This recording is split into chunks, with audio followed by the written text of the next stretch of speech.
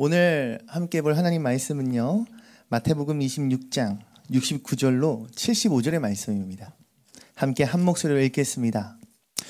베드로가 바깥들에 앉았더니 한 여종이 나와 이르되 너도 갈릴리 사람 예수와 함께 있었도다 하거늘 베드로가 모든 사람 앞에서 부인하여 이르되 나는 내가 무슨 말을 하는지 알지 못하겠노라 하며 안문까지 나아가니 다른 여종이 그를 보고 거기 있는 사람들에게 말하되 이 사람은 나사렛 예수와 함께 있었도다 하매 베드로가 맹세하고 또 부인하여 이르되 나는 그 사람을 알지 못하노라 하더라.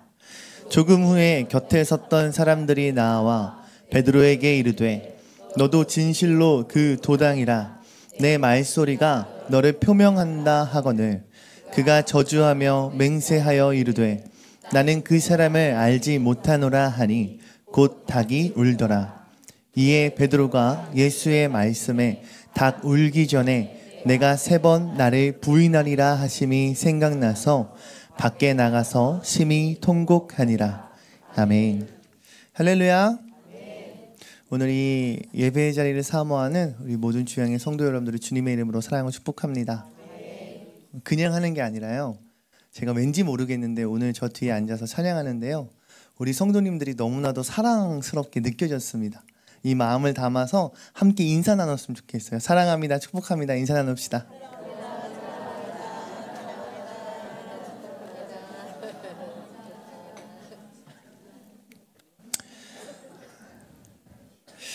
아, 할렐루야. 음, 우리 교회 밖의 이야기들을 좀 들어보면 많이 이 교회의 예배 아, 그리고 교회 활동들이 많이 약해져 있는 것 같습니다. 그럼에도 불구하고 어, 우리 주양교회는 모이기에 힘쓰는 교회인 줄 믿습니다. 이 모습을 보니까 마음 가운데 여러분들을 향한 사랑의 마음이 막 샘솟더라고요. 모르겠어요. 주님 주시는 마음 아닐까요? 주님의 마음도 이와 같은 줄 믿습니다. 어, 여러분 믿음이라는 것은 무엇이라고 말할 수 있을까요? 궁금하더라고요. 그래서 사전을 검색해 봤습니다. 그랬더니 첫 번째 믿음이란 뜻은요. 어떤 사실이나 사람을 믿는다라고 할 때 믿음이라는 얘기를 쓰더라 고요. 그러니까 뭐 제가 이곳에서 오늘 설교를 하는 건 사실이지 않습니까? 믿을 수 있겠죠? 네. 어, 두 번째는 초자연적 절대자 혹은 창조자, 어, 뭐 종교를 어, 믿는 것, 종교의 믿음의 대상, 어, 그 믿음의 대상을 따른 태도 이런 것이 믿음의 또 다른 뜻입니다. 다시 말해 믿는 것을 가진 어, 신자의 태도는 무엇인가? 첫 번째는 두려움, 경건, 자비, 그리고 사랑과 같은 이런 일이 믿음 안에 포함되어 말할 수 있겠더라고요. 어, 우리 사진 한번 띄워주실까요? 예전에 영화 한 편을 봤습니다. 여러분도 혹시 보신 적 있으신가요? 어, 화질이 너무 안 좋네요. 죄송해요. 국가 부도의 날이라는 영화를 본 적이 있어요. 근데 뭔 내용이냐면 IMF의 어, 주제를 다룬 영화였어요. 어, 인터넷 서칭을 해보니까 1997년에 어, 제가 초등학교 1학년이었거든요. 네. 절 비춰주셔도 좋습니다. 어, 이렇게 됐답니다. 그 1학년이. 1학년 때 IMF를 제가 맞았거든요. 그러니까 제가 맞은 게 아니라 저희 부모님 맞으셨겠죠. 네. 그러니까 그 당시에 뭐 무슨 일인지 잘 몰라요. 생각나는 건 항상 TV를 틀면 근무기 운동을 했던 것밖에 기억이 나지 않습니다.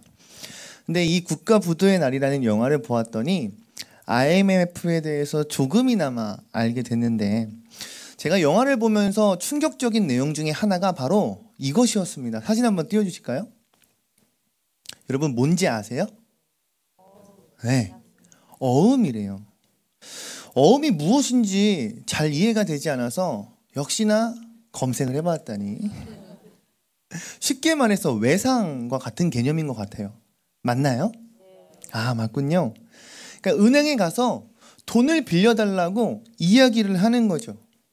돈 빌려주세요라고 하면 그냥 그 말을 듣고 돈을 빌려줬습니다. 그 가운데 뭐 여러 보증을 서는 문제, 여러 가지 문제들로 인해서 실질적인 삶의 실제 풀 수 없는 너무나도 실태라와 같이 실타래와 같이 엉켜버린 그런 삶의 문제들이 발생하기도 한 것 같아요. 어, 생각해봤어요. 보증은 누가 왜 서주는 것일까 생각해 보았거든요. 제 생각에는 그 당시 그 시대의 상황이 먼저 그러했기에 어, 보증이라는 것이 참 쉽게 가능하지 않았나 싶어요. 이 국가 부도의 날이라는 영화에서도 서로 보증을 서주다가 문제를 맞이하게 되는 그런 모습들이 나오거든요. 실제로 그동안 돈에 대해서 은행에서 돈을 빌리는 것에 대해서 큰 사건 사고가 없었고 모두가 그렇게 살다 보니까 자연스럽게 보증이라는 개념이 오늘날 우리가 살아가는 이 시대와는 많이 달랐을 것이라는 생각이 들더라고요. 두 번째는 보증은 왜 서주는가라는 생각했을 때 보증을 서주는 사람을 진짜로 믿었기 때문에 보증을 서주는 것 같아요. 어, 마찬가지로 오늘 이 시대에도 보증은 아무리 가까운 사이라도 서주면 안 된다고 하지만 그래도 서주는 사람이 있을 수도 있잖아요. 그 사람에 대한 개인적인 신뢰 혹은 믿음의 관계 때문에 혹은 상대방의 사업체에 대한 어떤 믿음 혹은 확신으로 인하여 음, 투자의 목적 뭔진 모르겠지만 보증을 서는 것에 꼭 필요한 것이 믿음이라는 거죠. 어찌 보면 오늘 본문 말씀에 나오는 한 사람을 향한 가장 강력히 믿었던 어, 한 주인공이 등장하는 것 같습니다. 그 이름은 바로 베드로입니다. 그에게 과연 어떤 일이 있었기에 오늘 본문의 말씀과 같은 모습을 발견하게 되는 것인가 함께 말씀을 나누길 소망합니다. 누가복음 23장 22절로 25절의 말씀을 함께 한 목소리로 읽도록 하겠습니다. 읽습니다. 시작. 빌라도가 세 번째 말하되 이 사람이 무슨 악한 일을 하였느냐 나는 그에게서 죽일 죄를 찾지 못하였나니 때려서 놓으리라 하니 그들이 큰 소리로 재촉하여 십자가에 못 박기를 구하니 그들이 소리가 이긴지라 이에 빌라도가 그들이 구하는 대로 하기를 언도하고 그들이 요구하는 자 곧 밀란과 살인으로 말미암아 옥에 갇힌 자를 놓아주고 예수는 넘겨주어 그들이 뜻대로 하게 하니라 아멘. 아멘. 어, 누가복음 23장의 말씀을 보면요. 예수님께서 빌라도의 입회하에 유대인들 앞에서 재판당하시는 모습을 발견합니다. 그때 백성들은 소리 높여 부르짖어 이렇게 외칩니다. 예수를 십자가에 못 박으라. 예수를 십자가에 못 박으라. 이렇게 말이지요. 당시 제 대제사장들 그리고 바리세파 그룹의 그들의 뜻대로 예수님은 신성모독이라는 죄명을 뒤집어 쓰고 법정에 쓰게 됩니다. 결국 빌라도는 예수를 어떻게든 어, 처형 사형에 어, 이르지 않기 위해서 부단히 애쓰고 노력했지만 결국 그곳에 모인 모두의 민심 밀란 때문에 빌라도는 유대인의 뜻대로 예수를 그들에게 넘겨주게 됩니다. 예수님은 십자가의 처형을 맞이하게 되는 대역 죄인이 되셨습니다. 이런 상황 가운데 예수님의 열두 제자 중 제일 가는 제자라 칭함받았던 베드로의 모습은 어떠했을까요? 마가복음 14장 67절의 말씀을 함께 읽겠습니다. 시작. 베드로가 불 쬐고 있는 것을 보고 주목하여 이르되 너도 나사렛 예수와 함께 있었도다 하거늘. 아멘. 아무래도 베드로는요.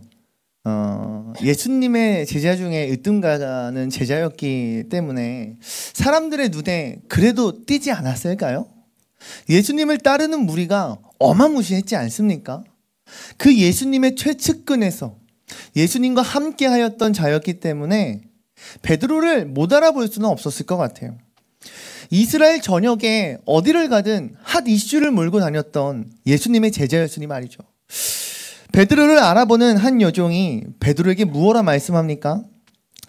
어, 내가 지금 어, 봅시다. 어, 네네네네. 한 여종이 베드로를 향하여 이렇게 얘기합니다. 당신은 저 예수를 따라다니던 무리 중 한 사람이 아닙니까? 라고 지적을 한단 말이죠. 그 말씀 가운데 베드로가 무엇라 말합니까? 그 여종을 향하여 이렇게 얘기합니다. 내가 지금 무슨 말을 하는지 아느냐라며 그 여종이 지적하는 그 자리를 피합니다. 근데 더 나아가서 그 여종은 베드로를 향하여 끊임없이 계속해서 따라다니며 그를 고발하고 있습니다. 결국 베드로는 어떤 모습까지 보이고 있는가? 예수를 저주하며 맹세하기까지 이렇게 얘기합니다. 나는 당신들이 말하는 그 사람을 알지 못한다라고 말이죠. 여러분, 한번 상상해 보자고요. 베드로의 입장 어떻게 보이세요? 그저 비겁해 보이고 옹졸해 보이고 자신의 이익을 위해서 예수를 버리는 파렴치한 인간으로 보이십니까?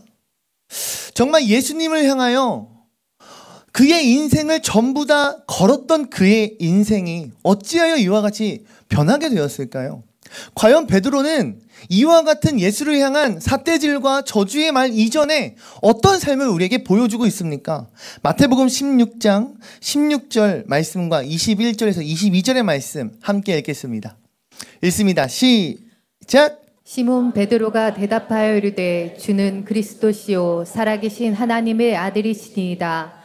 이때로부터 예수 그리스도께서 자기가 예루살렘에 올라가 장로들과 대제사장들과 서기관들에게 많은 고난을 받고 죽임을 당하고 제3일에 살아나야 할 것을 제자들에게 비로소 나타내시니 베드로가 예수를 붙들고 항변하여 이르되 주여 그리 마옵소서 이 일이 결코 죽게 미치지 아니하리이다. 아멘. 할렐루야. 우리 박수 세 번 쳐볼까요? 박수 세 번 시작. 다섯 번 시작. 자, 말씀 보니까요.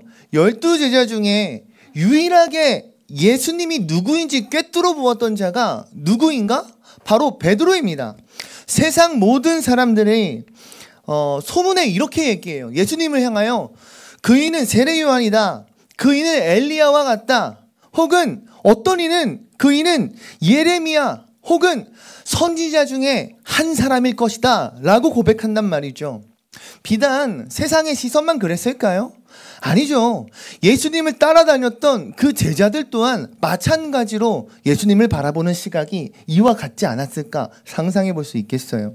하지만 그때의 오직 예수님의 제자 중 첫 번째 제자라 일컬어 맞던 베드로만이 예수님을 향하여 이렇게 고백한다라는 거죠. 주는 그리스도시요 살아계신 하나님의 아들이십니다. 할렐루야. 네. 여러분 베드로의 이 고백은요, 아무나 할 수 있는 고백이 아니라니까요. 예수님 뭐라 말씀하셨습니까? 베드로야, 하나님께서, 성령님께서 너에게 내가 누구인지를 깨닫게 하셨구나. 예수님이 그 대답을 듣고 매우 기뻐하시며 베드로를 칭찬하셨다라니까요. 더 나아가서 21절, 22절 뭐라고 말씀하셨습니까? 어, 예수님의 순한 예고를 들었을 때 베드로가 무엇라 고백하고 있습니까? 주님을 붙들고 항변하였다라고 고백하고 있습니다. 주님, 그럴 일이 없습니다. 어찌하여 주님이 그와 같은 대우를 받으십니까? 주님이 어찌하여 죽음을 맞이하겠습니까? 주님, 내가 누구입니까? 저 베드로입니다. 주님을 그와 같이 놓지 않을 겁니다. 그와 같은 상황은 결단코 이루어지지 않을 것입니다라고 호언장담했던 제자가 바로 베드로라고요. 여러분, 베드로의 이와 같은 기록된 모습을 통해서 우리는 무엇을 발견할 수 있을까요? 저는 아무리 베드로의 삶을 보면 볼수록 야, 베드로는 예수님 진짜 사랑했구나. 예수님 진짜 사랑했기 때문에 예수님이 아 주님은 하나님의 아들이십니다. 살아계신 하나님이십니다라고 고백할 수 있지 않았을까요? 누가 예수님의 그 비밀스러운 모습을 꿰뚫어 볼 수 있겠냐고요. 사랑하기에 더 주님을 묵상할 수 있고 사랑하기에 주님의 그 일거수일투족을 더 눈에 담으려 노력하였던 베드로의 마음을 상상해 보자고요. 더 나아가서 어, 남들과는 다른 시선으로 본질을 꿰뚫어 보며 예수님의 말씀이라면 그 무엇이든 믿음으로 받았던 베드로였기에 예수님의 이 순한 예고를 그저 흘러가는 얘기가 아니라 주님 그럴 리는 없습니다. 제가 막을 겁니다라고 일어서서 주님께 항변하였던 자가 베드로라니까요. 다른 제자들 예수님 안 사랑했을까요? 예수님이 향한 믿음이 없었을까요? 그러진 않았을 거예요. 그러나 그럼에도 불구하고 더욱더 특별히 주님 앞에 사랑하는 자요, 믿음 있는 자가 베드로라고 저는 생각이 들더라고요. 여러분, 이제 조금 이해가 더 되시나요? 실제적으로 베드로의 상황이 조금 더 다가오십니까? 그토록 사랑했던 예수님. 그 무엇보다, 그 누구보다 더욱더 믿음을 담아 따랐던 그 예수님이 십자가에 달려 처형당하십니다.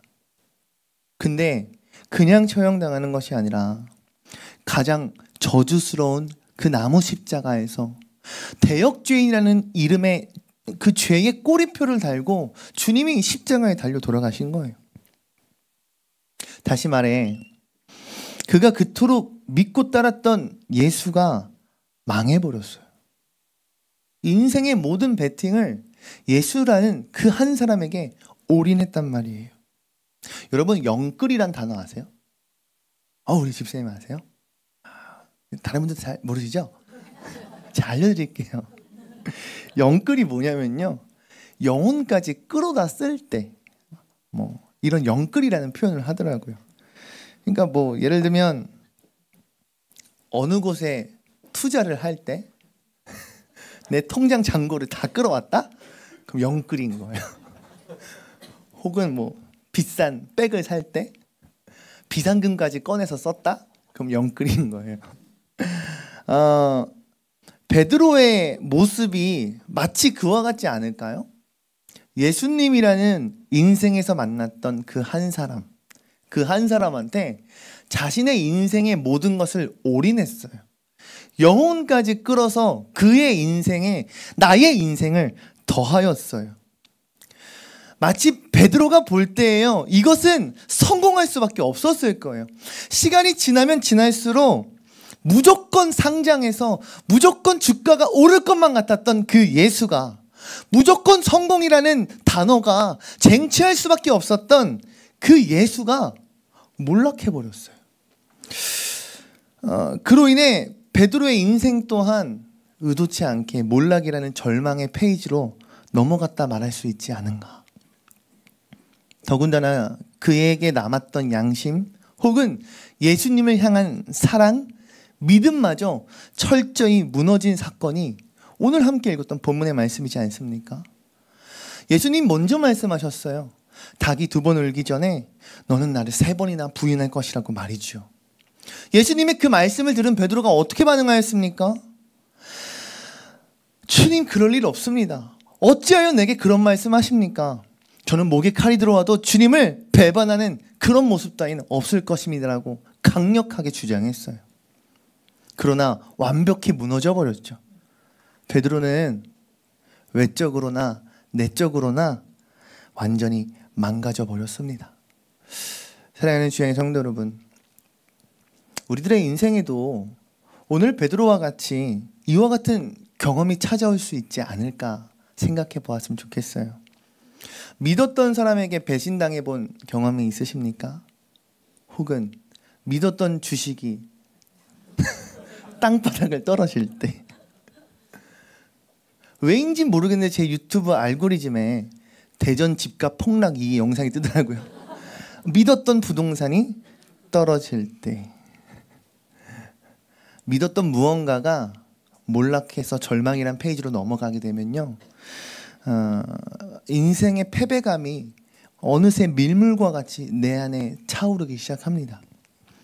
더군다나 베드로와 같이 내적인 신앙의 패배감, 신앙의 무력감, 신앙이 무너지는 자신이 정말 믿고 따랐던 그 신앙이 무너지는 그 경험 앞에서는요, 한 사람의 인생은 그 무엇보다 어, 밑바닥으로 곤두박 칠 수밖에 없다는 것을 우리는 상상해 볼 수 있습니다.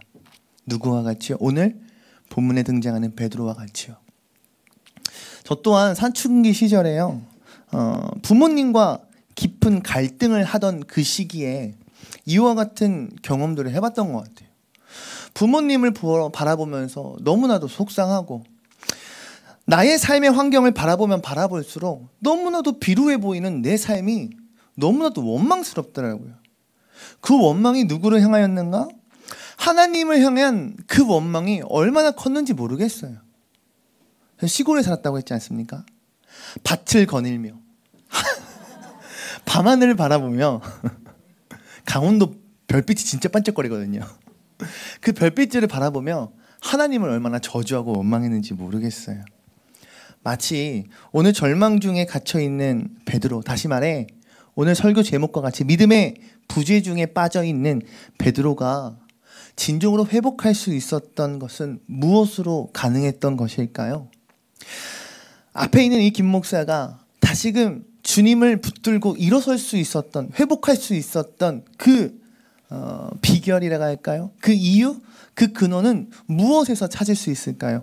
오늘 요한복음 21장 15절에서 17절의 말씀 함께 읽길 소망합니다. 읽습니다. 시작. 그들이 조밥 먹은 후에 예수께서 시몬 베드로에게 이르시되 요한의 아들 시몬아 내가 이 사람들보다 나를 더 사랑하느냐 하시니 이르되 주님 그러하나이다 내가 주님을 사랑하는 줄 주님께서 아시나이다 이르시되 내 어린 양을 먹이라 하시고 또 두 번째 이르시되 요한의 아들 시몬아 내가 나를 사랑하느냐 하시니 이르되 주님 그러하나이다. 내가 주님을 사랑하는 줄 주님께서 아시나이다.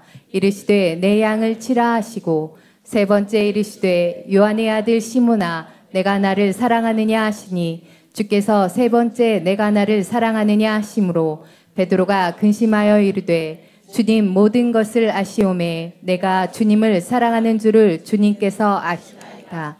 예수께서 이르시되 내 양을 먹이라. 아멘. 할렐루야. 예수님은 죽음을 이기셨습니다. 그리고 우리를 위하여 부활하셨는 줄로 믿습니다. 그런 주님께서 제자들을 향하여 가장 먼저 그 발걸음을 떼시고 그들을 위해 조반을 만들어 주셨죠. 그 가운데 특별히 베드로를 조명하고 계십니다. 그리고는 베드로를 향해서요 진심이 담긴 대화가 시작돼요. 어, 질문하십니다. 베드로야, 내가 나를 사랑하느냐? 내가 나를 사랑하느냐? 내가 다른 이들보다 진정으로 더욱 나를 사랑하느냐라고 말이지요. 할렐루야. 오늘 이와 같은 주님의 음성이 우리에게 있기를 주 이름을 축원합니다. 베드로의 이 믿음의 부재 중에 찾아오셨던 예수 그리스도의 그 말씀의 능력이 할렐루야 베드로를 온전히 회복해 할 수 있었던 이유요. 베드로가 다시금 일어설 수 있었던 근원이 되었는 줄로 믿습니다. 여러분 재밌지 않으세요? 베드로가 배신하였던 그로 인해서 베드로가 다시금 회복하였습니다. 제자들이 버리고 흩어졌던 그로 인하여서 제자들이 그 교회 공동체가 다시금 모이기 시작했다라는 거예요. 굉장히 아이러니한 이야기지만 이것이 성경이 우리에게 증거하고 있는 팩트입니다. 사랑하는 성도 여러분, 이것은 비단 베드로 한 명의 이야기가 아니더라고요. 요즘 우리 프리즘 친구들과 아브라함에 대해서 계속해서 말씀을 나누고 있는데 한번 좀 나눠보기를 원합니다. 창세기 15장을 보면요. 아브, 아브라함을 찾아와서 다시금 언약의 재확증을 하시는 여호와 하나님을 발견할 수 있는데요. 우리 창세기 15장 1절에서 3절 말씀 함께 읽겠습니다. 시작. 이후에 여호와의 말씀이 환산 중에 아브라함에게 임하여 이르시되 아브라함아 두려워하지 말라 나는 내 방패요 너희 지극히 큰 상급이니라 아브라함이 이르되 주 여호와여 무엇을 내게 주시려 하나이까 나는 자식이 없사오니 나의 상속자는 이 다메섹 사람 엘리셀이니이다. 아브라함이 또 이르되 주께서 내게 씨를 주지 아니하셨으니 내 집에서 길린 자가 내 상속자가 될 것이니이다. 아멘. 아멘. 창세기 15장 중에 1절을 제일 먼저 보면 어, 여호와의 말씀이 아브라함의 인생 가운데 다시금 임하는 것을 볼 수가 있습니다. 어, 저는 항상 말하지만 우리들의 인생 가운데 하나님의 말씀이 임하는 그 자체가 은혜라고 생각합니다. 소망하기는 여러분들의 삶 가운데 하나님의 말씀이 임하길 원합니다. 왜요? 그것이 우리의 인생의 참된 은혜이기 때문이지요. 그런데 그러한 은혜 되시는 하나님의 말씀이 아브라함의 인생에 찾아왔습니다. 그리고 아브라함을 향해서 이렇게 말씀을 하시는 거죠. 아브라함, 두려워하지 마.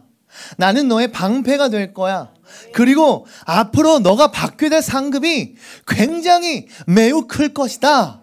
라고 하나님이 언약의 말씀으로 직접 임하셨습니다. 근데 재미난 것은 아브라함의 반응이에요. 아브라함이 그 바, 말씀 앞에 어떻게 반응하는가? 굉장히 심드렁합니다. 이렇게 얘기해요. 주님, 내게 어떤 그 큰 상급을 주시더라도 나에게는 상속자가 없다는 것을 아십니까? 무슨 말입니까? 나에게 있는 상속자라 해봤자 나의 핏줄이 없사오니 나의 종 엘리에셀이 나의 상속자가 될 것입니다. 3절에는 이렇게 따져요.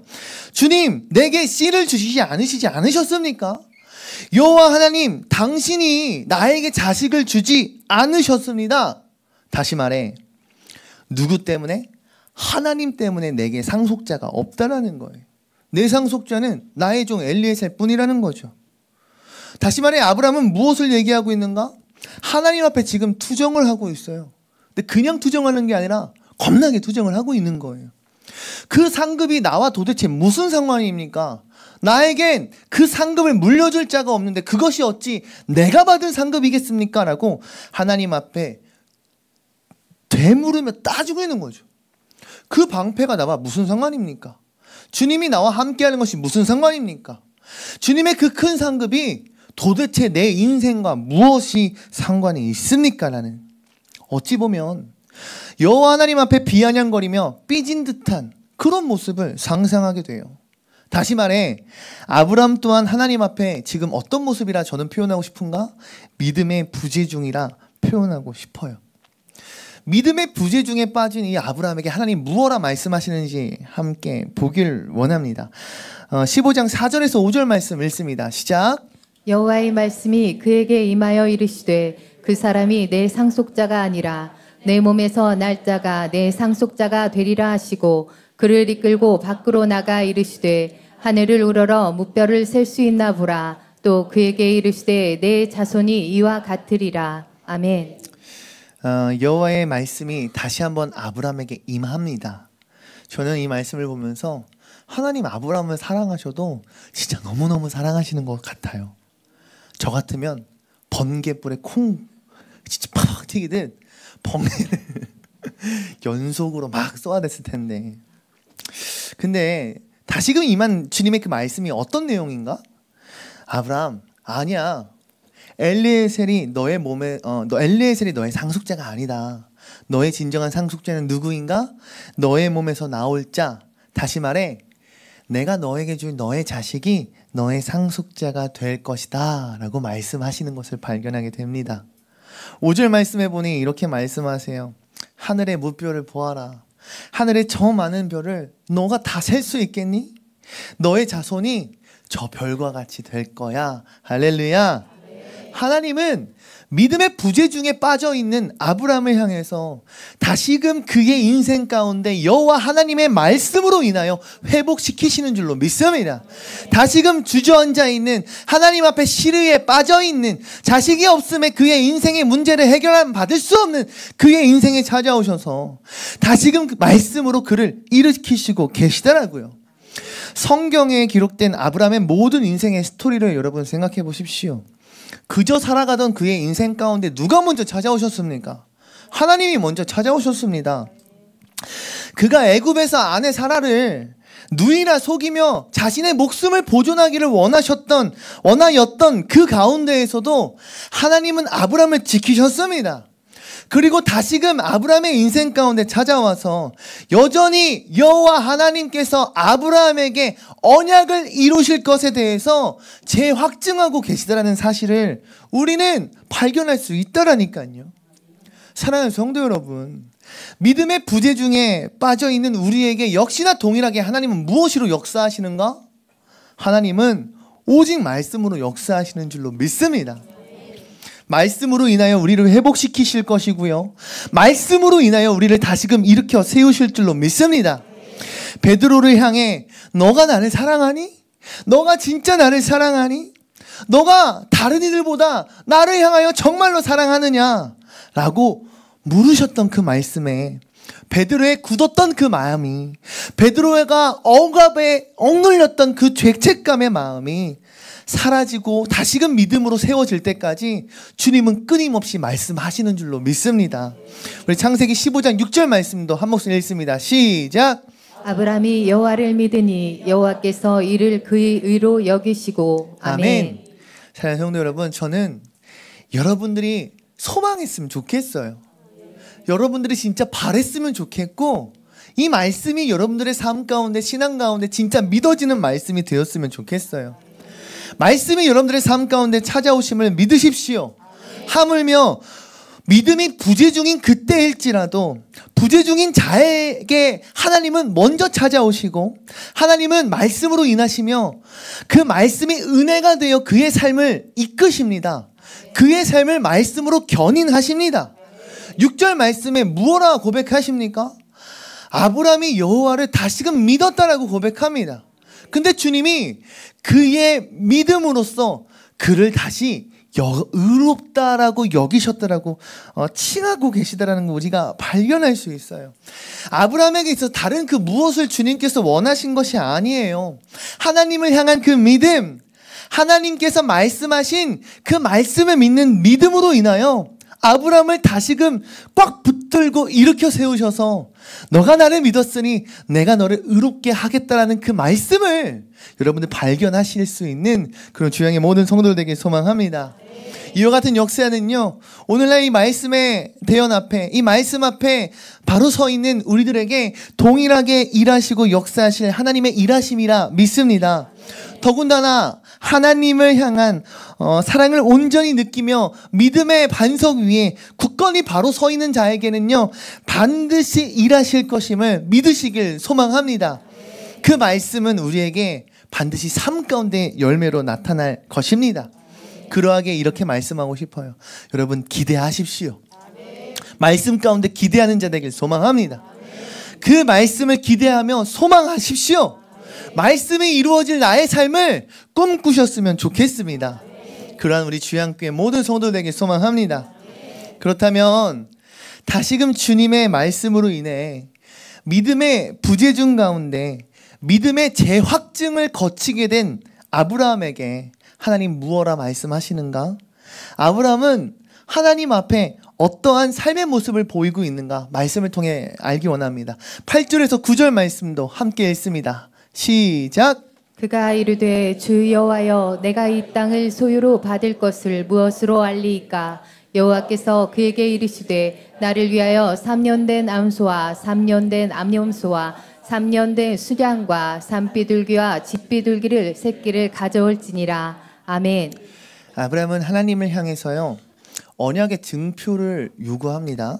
그러자 하나님께서는 구절 말씀과 같이 3년 된 암소 어, 그리고 암염소 3년 된 어, 순양 산비둘기 집비둘기의 새끼를 가져오라고 명령하십니다.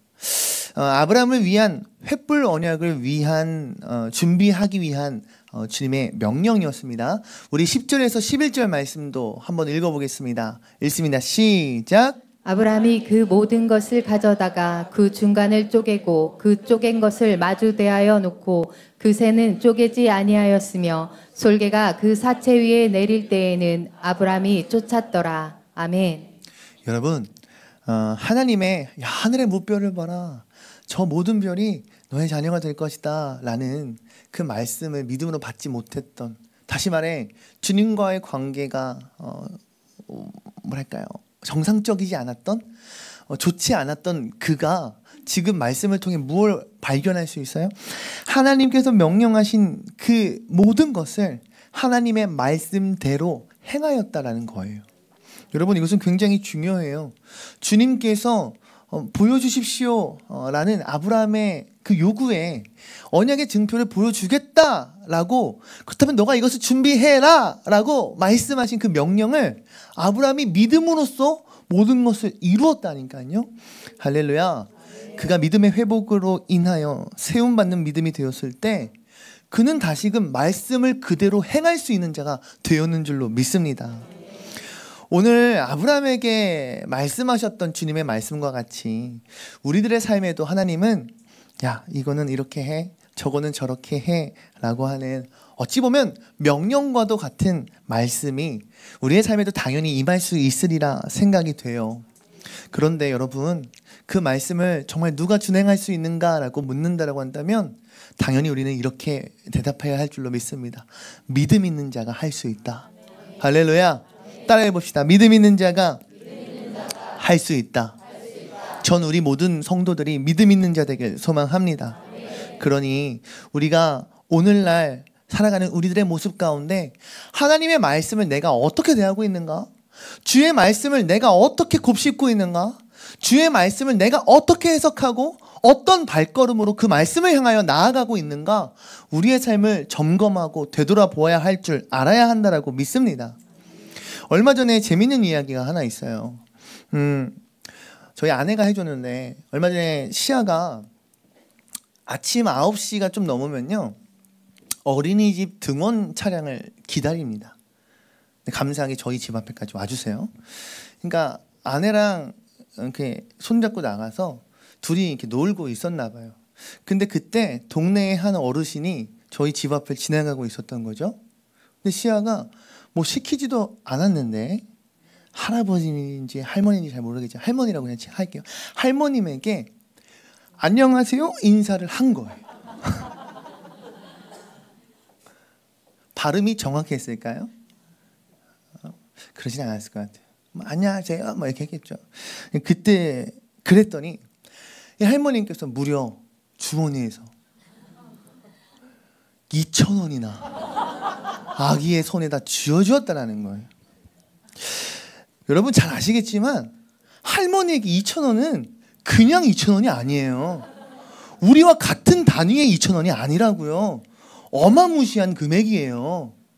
근데 그 할머니가 2천 원을 그냥 안녕하세요 한마디만 했을 뿐인데 아기의 손에 쥐어주었다는 거 아닙니까? 그래서 아기 엄마가 아 아니에요 안 주셔도 돼요 했더니 한사코 꼭 주고 가셔야 한다며 손에 꽉 쥐어 주셨다고 하더라고요. 여러분 당장 나가서 땅을 파보십시오. 천 원짜리 한 장 나오는. 또 궁금하면 못 참으니까 검색을 해야 되지 않겠습니까? 최저 시급을 검색해 봤더니 9,620원입니다. 시야는 약 1초 정도에 2,000원이나 큰 돈을 번 거예요. 대단하지 않습니까? 제가 말하고 싶은 건 두 살짜리 아기가 뭘, 뭘 알았다고 할머니한테 인사를 했겠냐고요. 야, 저 할머니한테 인사하면 나 돈 벌 수 있을 것 같아. 내 레이더, 내 감이 지금 딱 왔어. 인사해야지. 이런 마음으로 인사했을까요? 아무리 생각해도 아직은 그런 나이는 아닌 것 같아요. 어, 저희 아기가 인사했던 첫 번째 이유는 제가 아무리 생각해 봤더니, 어, 엄마가 옆에 있었기 때문에 모르는 낯선 사람한테 인사할 수 있었을지 않았을까 생각해요. 왜냐면 엄마가 옆에 있으니까 믿음직하잖아요. 두 번째는 옆에 있었던 엄마가 늘 교육을 했기 때문이에요. 어른 보면 인사하는 거야. 할머니, 할아버지 보면 인사하는 거야. 교회에서도 어른 보면 인사하는 거야 라고 항상 가르치더라고요. 그러니까 아이는 엄마가 옆에 있고 엄마가 가르친 그 교육의 내용을 알, 알고 있었기 때문에 인사할 수 있었던 거죠. 마지막으로 이거예요. 엄마가 가르친 그 내용을 진짜 믿었기 때문이에요. 진짜예요. 진짜예요, 여러분. 엄마가 가르친 그 말씀, 엄마의 말씀을 믿지 않으면요, 안 해요. 물론, 잠도 잘 잤고, 아침밥도 먹었고, 컨디션이 좋았으니까, 기분이 좋았으니까, 아, 신나서 먼저 인사했겠죠. 근데 엄마가 가르친 내용을 아이가 믿지 않으면요, 그대로 행할 리가 없는 거예요. 여기 앉아있는 옛꼬마의 프리즘 애들 보세요. 쟤네가 미쳤다고 여기 앉아있겠습니까? 저들도 저들 나름의 믿음이 있기 때문에 이 금 같은 저녁 시간에 앉아있는 거라니까요. 부모가 가르친 그 믿음을 저 아이들 또한 진짜 믿기 때문에 이 예배의 가치를 저들 또한 알고 있는 거라니까요. 여러분, 인생을 살아가면서 은혜를 받은 어머니의 말씀대로 살았던 두 살짜리 아이에게 자그마치 2천 원이라는 엄청난 큰 은혜, 은혜가 임하였습니다. 여러분, 어찌 이것을 하나님이 역사하지 않으셨다 말할 수 있겠습니까?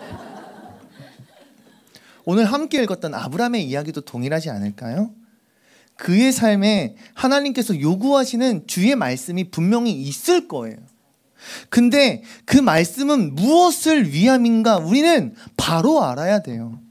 아브라함을 향한 언약의 재확증을 위한 말씀임을 다른 누구 아닌 그를 축복하시기 위한 하나님의 말씀이라는 사실을 우리는 잊어서는 안 되는 줄로 믿습니다.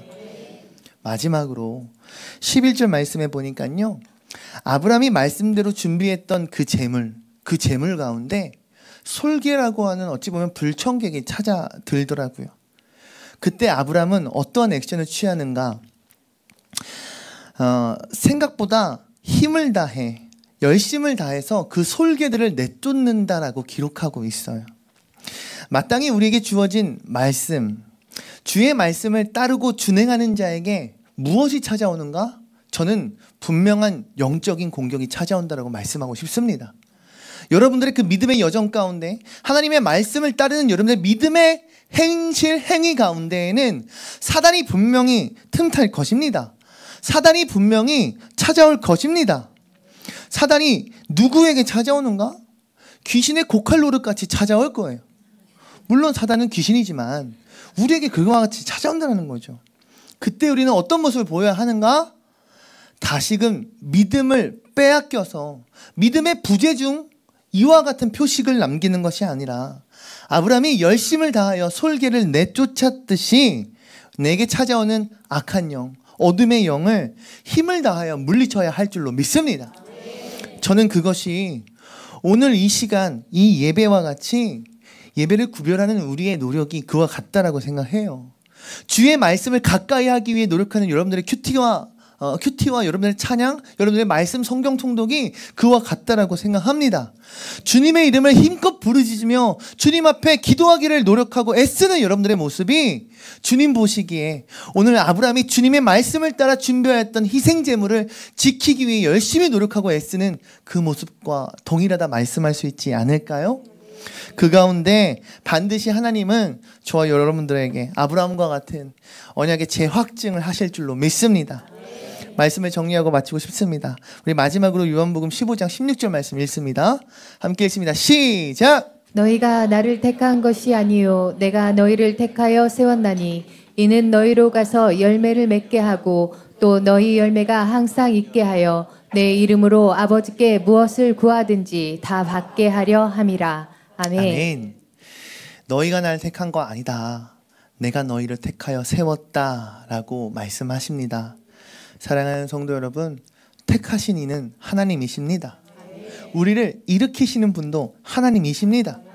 믿음의 부재 중에 있을 때 먼저 다가오시는 분이 누구이신가? 역시나 하나님 한 분이신 줄로 믿습니다. 여호와 하나님은 끝까지 우리를 포기하지 않으십니다. 언제나 우리를 선택하고 언제나 우리를 사랑으로 은혜로 찾아오셔 역사하시는 줄로 믿습니다. 주님이 우리에게 말씀하시고 언약하신 그 말씀, 주님이 우리에게 선포하신 그 말씀대로 이루시는 하나님이신 줄로 믿습니다. 이 사실을 진정 믿음으로 고백하고 나아가는 우리 모든 주양교회 되길 소망합니다. 다시 말해, 우리의 인생 가운데 열매 맺게 하시는 분도 하나님이시고, 열매가 항상 사시사철 맺히게 하시는 분 또한 하나님이십니다. 오직 예수 그리스도의 이름으로 무엇이든 다 받게 하시는 분, 그 또한 하나님이십니다. 믿음의 부지중 가운데 있는 자라 한다면 오늘 이 시간 하나님 앞에 회복되는 역사 있길 소망합니다. 하나님은 반드시 여러분들의 인생 가운데 역전의 드라마를 쓰실 것입니다. 여러분들의 손을 그 굳건한 두 팔로 붙드시고 일으켜 세우실 줄로 믿습니다.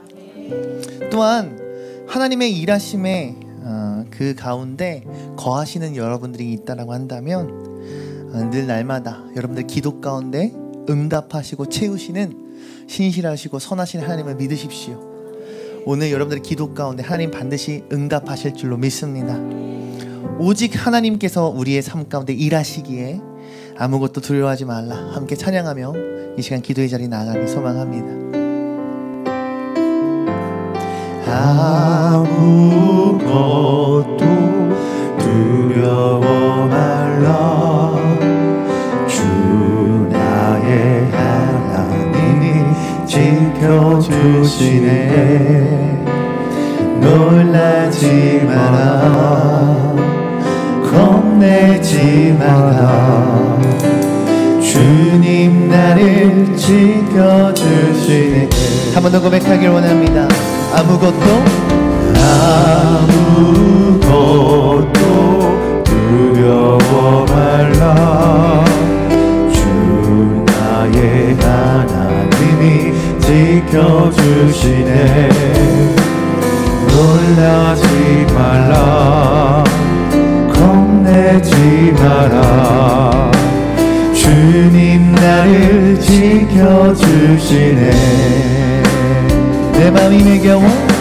내 맘이 힘에 겨워 지칠지라도 주님 나를 지켜주시네.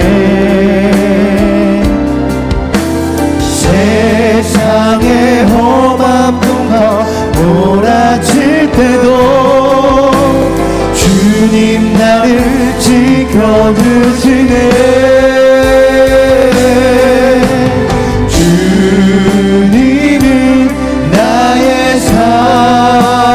산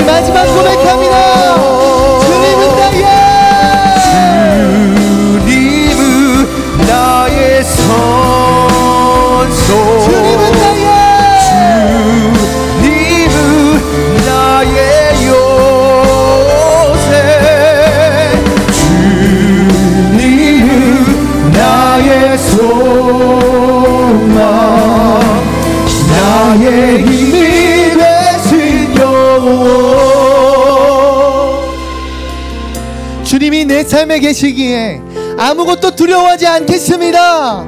주님을 나를 지키시기에 내가 놀라지 않겠습니다.